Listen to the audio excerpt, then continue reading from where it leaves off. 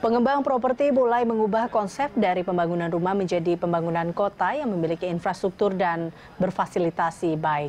Selain itu, dengan keterbatasan lahan, arah pengembangan di Pulau Jawa juga sudah mulai mengarah pada hunian vertikal atau apartemen.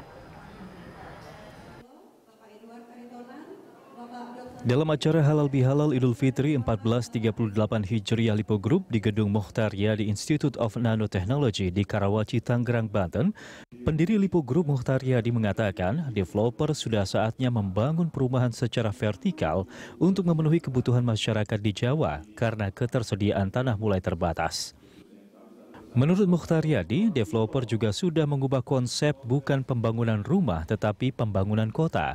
Sebagai pembangun kota, maka harus menyediakan fasilitas pendidikan, pengobatan, pasar, dan semua kebutuhan hidup masyarakat. Mokhtar menceritakan ketika Lipo membangun Karawaci yang pertama kali dibangun justru fasilitas kota tersebut seperti Sekolah Pelita Harapan, RS Siloam, serta Supermall terbesar di Asia Tenggara. Dan kalau kita sebagai pengusaha developer ini jangan memposisikan diri pun posisikan diri kita itu adalah pembangun rumah. Kita harus dengan satu konsep adalah pembangun kota. Ini dua prinsip yang berbeda. Kalau kita hanya membangun rumah, ya rumah di, di, di, di, dibangun apa pun juga saya tidak mau tahu. Tapi kalau konsepnya adalah pembangun kota maka di situ kita harus menyediakan pendidikan dan pengobatan dan toko-toko dan sebagainya. Dan semua kebutuhan daripada masyarakat kehidupan dan masyarakat ini harus sempurna dan yang baik seperti dulu 20 sekian tahun yang lalu kita membangun Karawaci ini. Mungkin ibu pasti tahu 20 sekian tahun yang lalu ini adalah tanah seperti apa. Dan yang pertama-tama kita bangun di sini adalah sekolah SPH dan yang kedua kita bangun Siloam Hospital. Dan yang ketiga adalah Supermall. Pada saat itu Supermall adalah 210 ribu meter persegi. Ini adalah terbesar di Asia.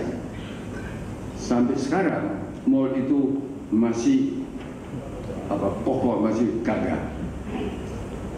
Inilah kalau sebagai developer ini kita harus memposisikan diri kita sebagai Eh, pembangun kota. Jadi bukan hanya pembangun rumah. Dan di situ perlu menyediakan semua kebutuhan daripada rakyat.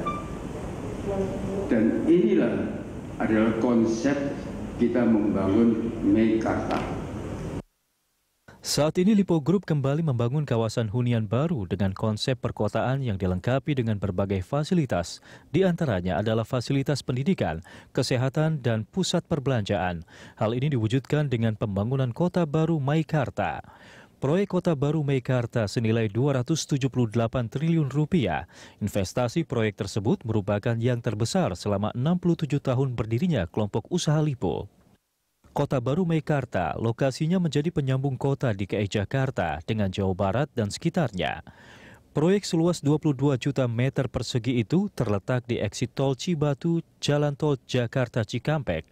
Proyek seluas 22 juta meter persegi itu terletak di eksit tol Cibatu, Jalan Tol Jakarta Cikampek. Aditya Warman, Amin Subarka, Berita 1, Karawaci, Tanggerang, Banten.